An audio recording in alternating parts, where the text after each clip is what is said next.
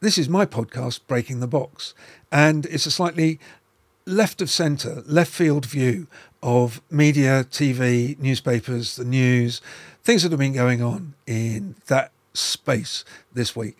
Uh, I hope you enjoy it. I'll be interested to see how it does. And here's episode one.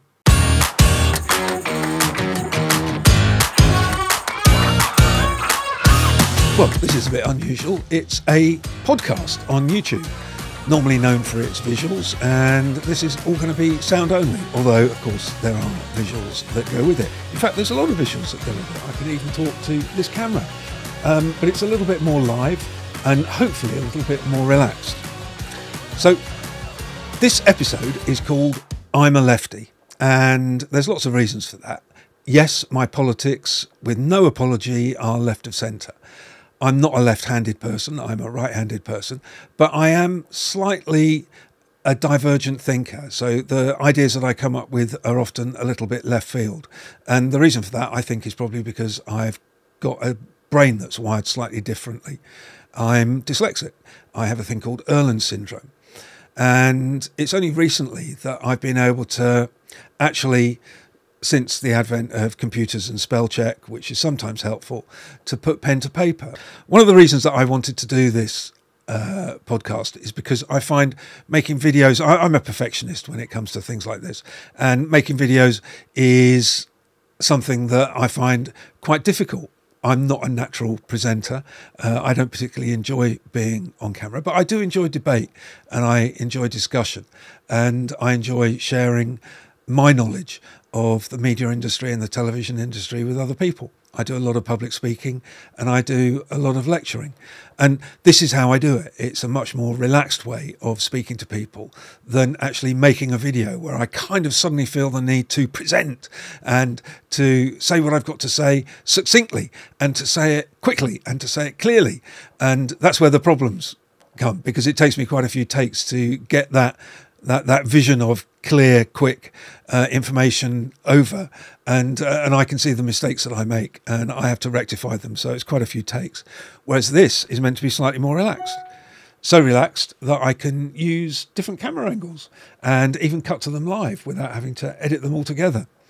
And really, some of the inspiration for that came from Radio Four, and I love listening to Radio Four in the in the in the car. And I just want to share with you some of the stuff that I enjoy about Radio 4. One thing in particular. So, normally when I'm driving down to Farnham, I lecture at Farnham, I, am listening to the Today programme, which is, of course, the news.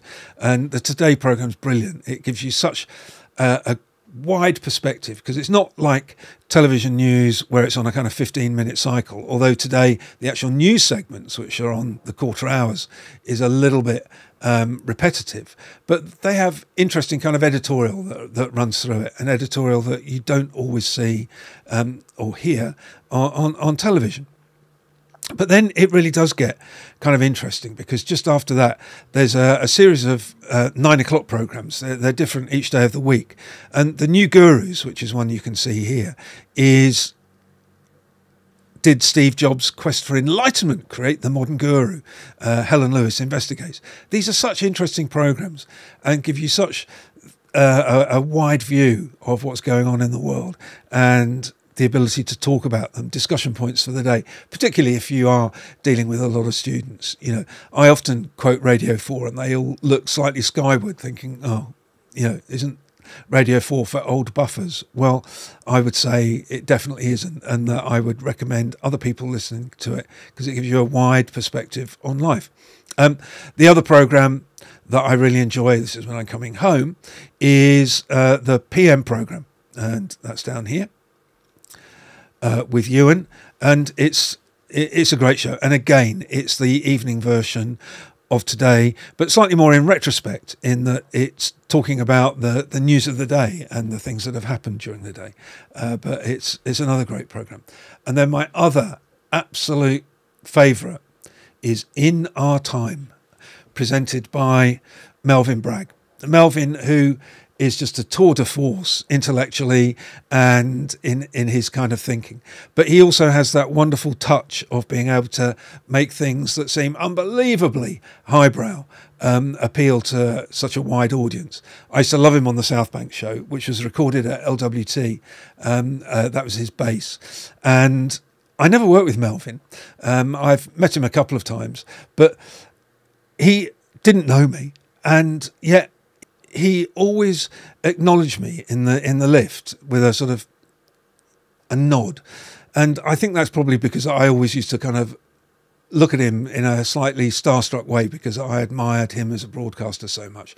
But Melvyn hosts in our time, which is just uh, such a collection of brilliant programs where he gets two or three, maybe four experts to talk on one very specific subject. And they all sound so dry. But when you actually listen to it, it does give you such a wonderful insight into what is in our time. And culturally, it doesn't just deal with, it's very British centric, but it looks at uh, the outside influences through um, uh, uh, from a kind of British perspective. But you know, look at some of these titles. Um, Melvyn Bragg and guests discuss Virginia Woolf's essay on women and literature. That's one essay. That was fascinating. Mercantilism, that's about economics, um, an idea which kind of dominated and to some extent still dominates European economies um, for the last 300 years. The Ramayana, which is a, a very famous poem and uh, written in Sanskrit. That, that, that was, again, brilliantly interesting. And then here we have, look at this, a program on megaliths. Melvyn Bragg and guests discuss what we know about ancient stones placed in the landscape. You couldn't ask for a broader, wider range of subjects, but every single one is really, really fascinating. It could be about a thing, a people, a subject, a poem. And as I say, I, I suspect the rather highbrow nature of the titles puts a lot of people off. But please don't be, you know, dip in and just listen to these wonderful people discussing um, these these various subjects. It, it, it's really quite a joy. Uh, nine o'clock, that's on, on a Wednesday, I think, uh, but you'd have to check the schedule. I'm not quite sure. And let's go back to this, which is my Facebook page. As you can see there, I call myself a TV format and creative consultant. Uh, I do have the great fortune to be able to travel all over the world, consulting with various broadcasters uh, on television programs and various other aspects of broadcasting and creating shows. I've got a couple of shows on the go at the moment. Um, one of which we're very hopeful for for a, a local release uh, or a local format here in the UK and in America, uh, uh, which I did in Singapore in the middle of last year sadly badly affected by COVID. That was when I got my bad part of COVID. But as a dyslexic, Facebook gives me a great opportunity to kind of do what I couldn't do as a kid, which is express myself through writing. And I quite like doing that. it, it is littered with mistakes, mistakes and grammatical errors. And, you know, I can't see the words on the page properly. So there's a lot of uh, misspellings, uh, or, or rather predicted spellings that aren't quite as I predicted them. uh, but there we go. But I can post about all sorts of things. You know, here we're talking about the James Webb Telescope, which uh, this fantastic photo shows the bending of light. There's a super massive object here which you can't see, but what it's doing is bending the light around it from these distant gal- uh, galaxies. These distant galaxies are from the very beginning of time, 13 billion years ago. And as they come around this super massive object, if you imagine a, a bowling ball placed on a mattress, the light actually bends around it as you would get the curvature uh, in the mattress. And that creates these weird and wonderful kind of bent shapes of these galaxies here. But it also throws up all sorts of theoretical physics about the bending and collapsing of time. You know, if this was to completely collapse in on itself or fold in on itself, you get the ability to create wormholes. And if you go into a wormhole, you can jump from one part of space to another in an instant. Um, there's also uh, theories about time travel within the space time continuum and what happens within that because yeah, it, it's true to say that from 13 billion light years away, this light is very old, and when it bends round a super massive object, it doesn't travel in a linear way, so time slows down. Well, can you reverse time? Can you speed time up? Can you do all of these things? And it's all part of theoretical physics. And I did physics at university, not for long, but um, I did do physics at university.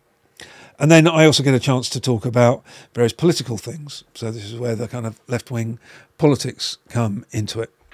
One of the thing, I'm also a governor at a local school, so there's lots of posts here about the recent um, claims that child abuse is uh, from uh, racial groupings or certain racial groupings, which a Home Office report actually debunked in 2020.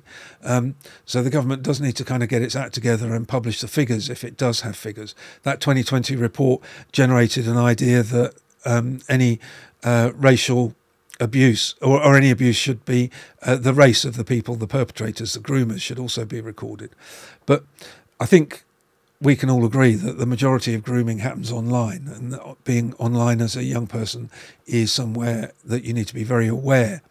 Particularly with those awful teenage filters. I, I wrote to my MP about those. I, think they should be banned completely. Where somebody um, of an older age can actually appear as a teenager is really putting tools into the hands of would-be groomers and paedophiles that shouldn't be there, shouldn't be allowed. And then my absolute amusement, I suppose, is one way of. Anthony Browne is my local South Cambridge MP, but these may have dropped through your doorstep anywhere in the country. It's just a template. You just change the photo.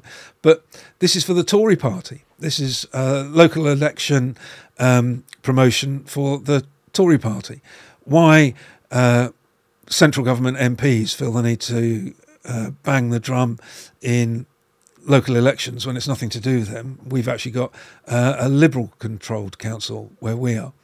But apparently, Anthony has made a huge difference uh, to my life, delivering millions of pounds of improved roads. Well, that hurts um, because I ran over a pothole only the other day, a massive pothole, and resulted in me needing a new, needing a new wheel for 200 quid. So thanks very much for that improvement, Mr. Tory Party. Uh, protecting our waterways, well, we all know that millions of gallons of sewage has been dumped in our waterways because the government has seen fit to tender out all our water services to profit centred companies who put profits over the environment. And just because we get a bit of rainfall and the sewage plants can't cope, rather than building bigger sewage plants, they just open up the sluice gate and pour raw sewage into the rivers. Thanks again for that, Anthony. And fighting for the transport solutions we really need. Well, you should try getting a bus locally from where I live in Cambridge into the centre of Cambridge. I think it's about twice a day. Um, not very good at all. But then nationally, all I've got to say to you, Anthony, is HS2. And if you think that's an improvement, I don't know what planet you come from. However, look at this it's green. Not a bit of Tory blue on it anywhere, and not a mention of the Tory party. So one can only assume that Anthony, who is a member of the Tory party, is so ashamed of his own party and his own branding, and realizes that a lot of people receiving a blue party political pamphlet on their doorstep will put it straight in the bin, that by not mentioning the Tory party and by using green as a colour is going to stop people doing that. Well, Anthony, let's hope not. Oh, oh gosh. No. See, even Alexa's joining in. Anyway, that is my Facebook page. Do have a look at it if you want to. Now, let's get on to some entertainment stuff. Eurovision is coming up round the corner. A little bit disappointed, um, am I, because uh, I did write to Eurovision and say it would be lovely, I, although obviously the Ukraine should be hosting it and it should be recorded in the Ukraine. I think it's great that Britain has taken on some of the cost and is hosting it over here. But it would have been lovely, I think, in my opinion, if we had almost uh, uh, as many Ukrainian television professionals working on it as possible. And I realise there's a slight naivety in that because a lot of the uh, men and women are fighting, but I'm sure uh, there are people who still feel it's passionate to get the message out and to have a voice globally that they still are running their TV stations. And indeed, the competition to find the Eurovision song in Ukraine was run from a metro station in Kiev underneath the, you know, almost while the bombs were falling. So but it's not. It, it's crewed up by British people. Many of my friends are there crewing it up. But this is one of the things that has happened. Another slight political idea. This is from the lovely GB News, Britain's news channel. Not my news channel, gentlemen and ladies. But the BBC is a disgrace for choosing a foul mouthed, Britain hating fanatic to representing the UK at Eurovision, says Darren Grimes. Interesting. You know, this young woman is a person with a political opinion.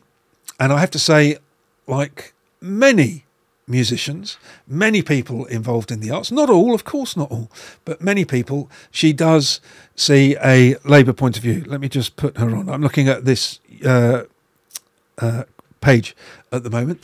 This is the GB News website, and there is a picture of Mae Muller, who is going to be representing and has been chosen to represent Great Britain. And GB News are up in arms about this because she is a Labour supporter. She has said some fairly silly things about Boris Johnson. Nobody wanted him to be ill um, with COVID, but she's very critical of the Tory government. And like a lot of people involved in the art, she's critical. And like a lot of musicians, she's also very upset about Brexit because it means that touring in Europe is almost impossible for British musicians now. It's just too expensive. Uh, getting the gear over used to be almost be, be done, uh, you know, carnets and things like that. I know, don't we all know about carnets in our business? All the serial numbers of every single piece of equipment, they're a nightmare to do. Didn't need them while we were in Brexit. We need them again now. We're back in Brexit, or we will do very soon. And it, it, it it's the bottom has fallen out of the touring market in, in Europe. And that was a major source of revenue for many musicians who don't naturally go to America. So here we go, calling her out as uh, a mad, loony left person and uh, saying that she's Britain hating.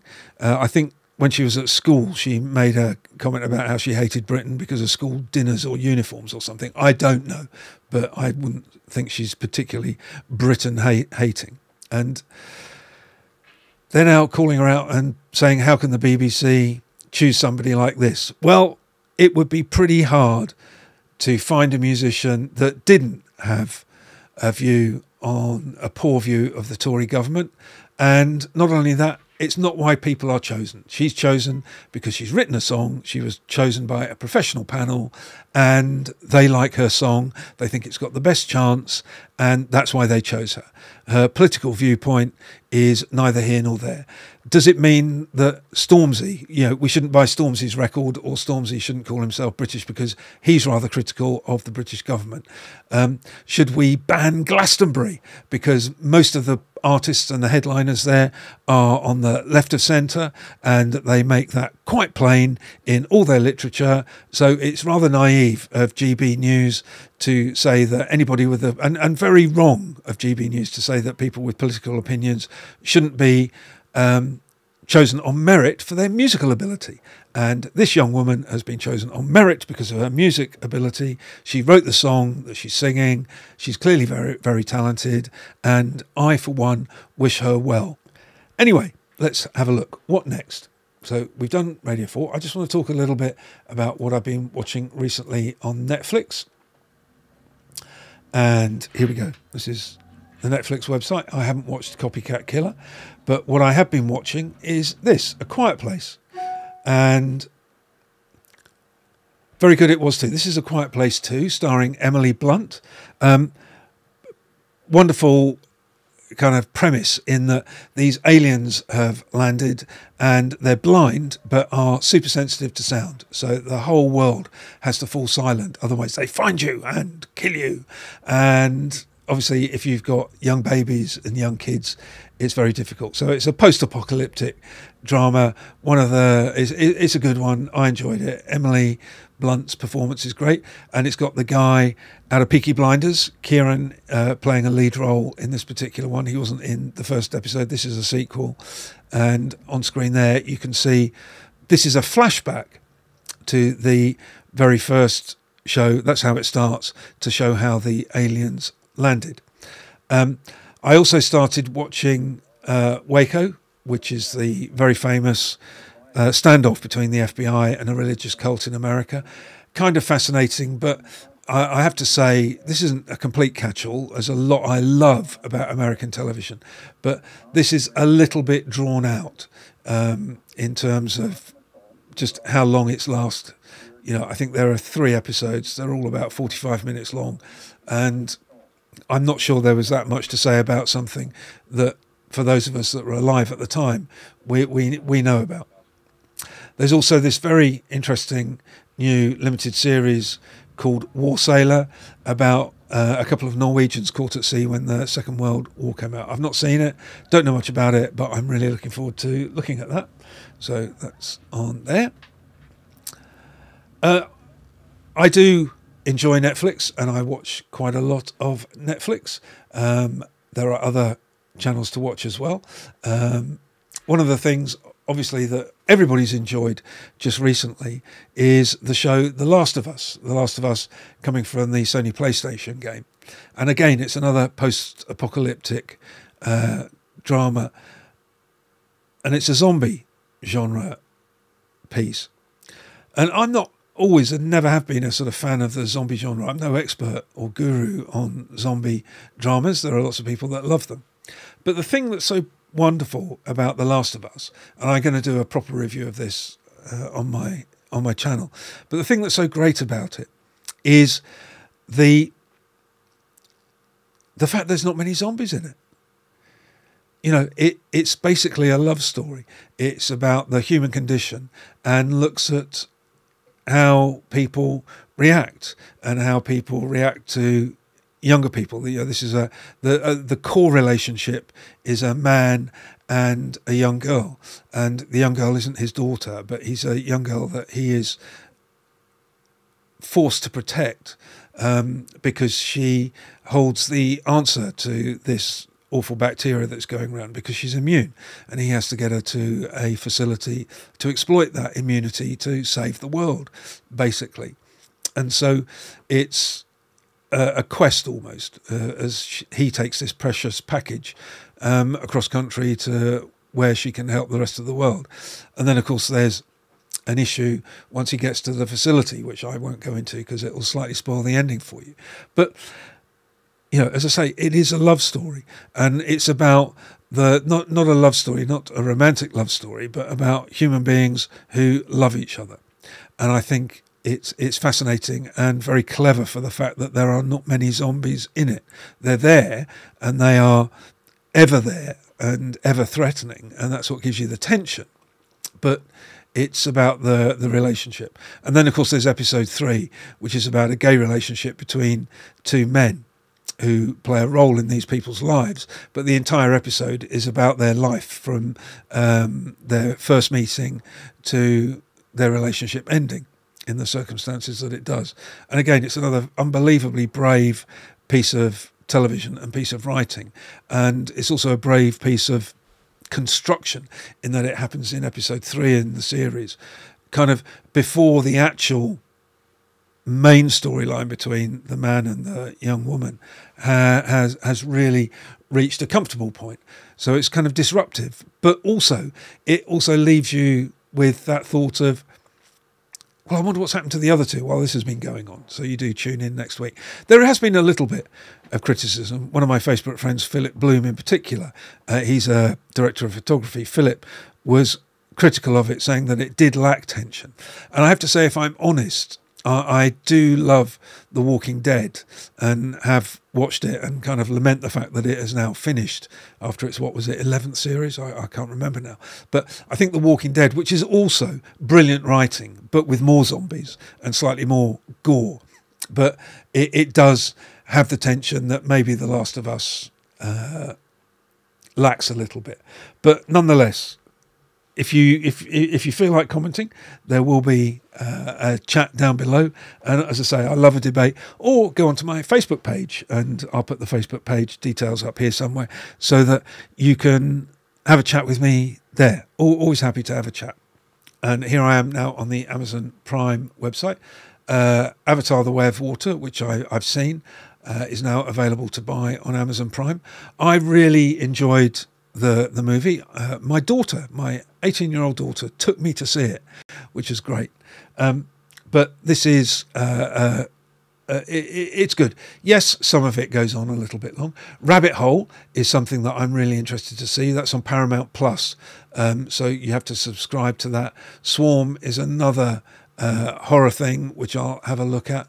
Uh, the Class of 07, I don't know much about that, um, but that's not really what I wanted to talk about. La Brea is something that I started watching, and if I'm honest, it's about people that fall through a hole into uh, prehistoric Los Angeles. It, it, was funny when it first started. I don't think it's meant to be, but uh, I've kind of fallen out of watching it now, which kind of says everything that there is to say about it. The rig, do have, I'll put a link somewhere uh, to that. Do have a look at my review uh, about the rig. It was probably scathing, uh, I would say. Um, yes, I wouldn't recommend that. Everything, everywhere, all at once clearly fated by uh, the Academy in Los Angeles. If I'm honest, I have to say why. I keep trying to watch it and I can't get past the first 20 minutes. So I, I will have to really concentrate and do my best to, to watch that. And top 10 in the UK. Now, this is interesting The Power. Uh, first three episodes are up on uh, Amazon at the moment. And it, it's very interesting. I would say uh, it's got lots of metaphors, but basically, young women are, and I'm on the Prime website now, looking at the the promo. Young women develop an organ uh, around about their uh, chest. Um, on the collarbone and it generates electricity. And suddenly they have this power to not just put right in a somewhat violent way the wrongs of how men treat women, but also they can then dominate. And so it, it, it it's interesting. A little bit slow to start, but um, I, have enjoyed it so far.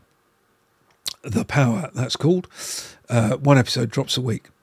Clarkson Farm 2, whatever you think of Jeremy, it's well worth a watch. That, if only because of the absurdity of planning laws in our country, in, in Britain. Picard, uh, it's a shame because I, I loved Picard 1 and 2. Um, it's sort of science fiction for grown ups. I think Star Trek is too, the original, but um, it, it sort of lost a little bit of its. Yeah, one of the great appealing things about Star Trek was it, its kind of retro feel and things like the Tribbles. And who remembers the Tribbles? Uh, Picard has got a little bit more serious, and uh, it, some of it just sort of doesn't fit terribly easy to, for me. It, it's a little bit too profound, I suppose, in the way that it it, it it's portrayed. And then finally, I just want to talk about All Four. So here we are on the All Four website. Taskmaster is back, and I just love Taskmaster. I just think it's absolutely top notch, wacky TV um, surreal comedy and suits my left brain thinking very well. Thank you very much. Rise and Fall is very every inch the poor person's. I don't know why we have that expression. It's a uh, doesn't hold a candle to traitors, which it is slightly imitating, but it's basically a power struggle reality show um, where there's a, a, controlling group who get the minions and manage the minions uh, in the basement to do their bidding. And then, of course, Married at First Sight. This particular season, this is the Australian version, way better than the British version, is back and is compulsory viewing and compulsive viewing. It's fantastic. You can't believe the characters, um, and yay, go Jesse and Claire because I do want them to succeed. But do do have a look at Married at First Sight. It's a real insight into the way people's minds work, the way their relationships work, and the way they behave when they're in a relationship.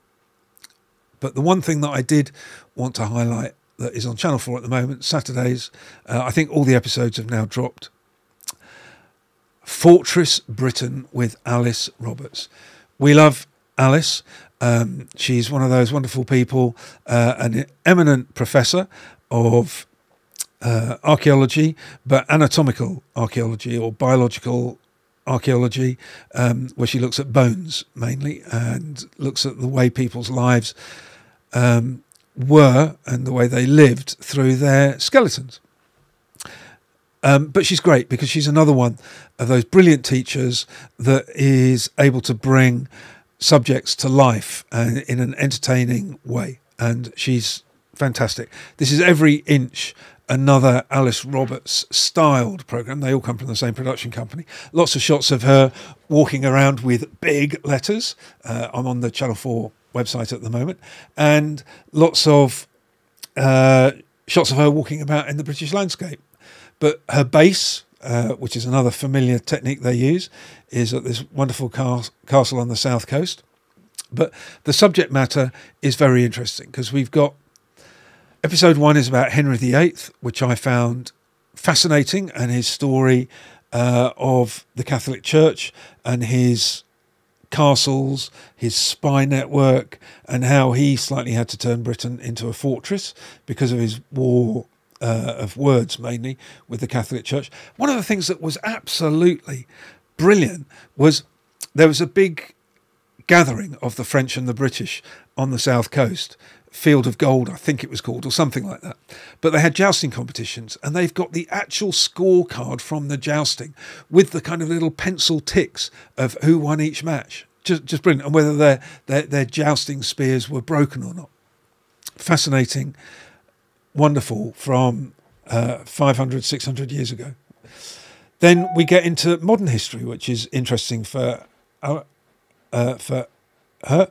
Um, oh, just gone onto the wrong part of the website now. But episode two is about Hitler. Getting Truth Heard from Amazon Music. Thank you, Amazon. Um, links between podcast episodes it's- it- asking for the next or previous episode.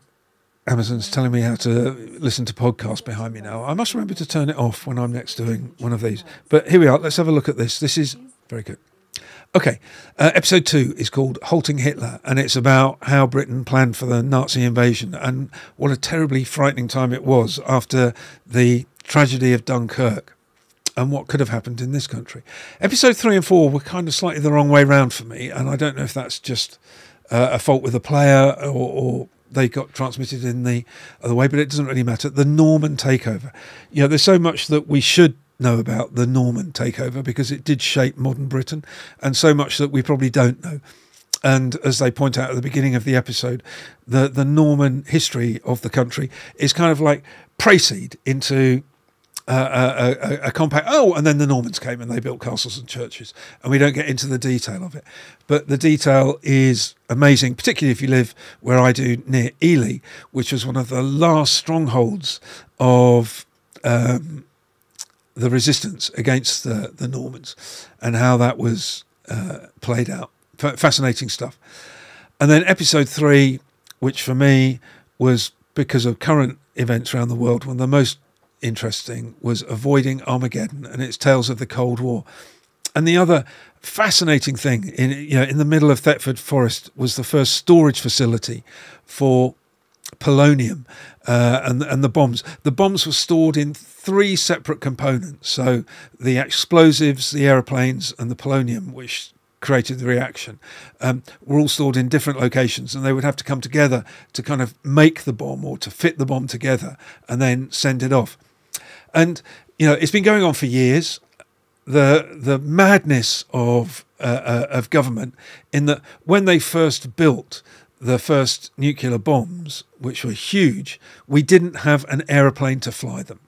So they just sat there, I think, basically for three years before the bombs got smaller and the planes got bigger, and then we could actually fly them with the V Force uh, and things like the Vulcan bomber.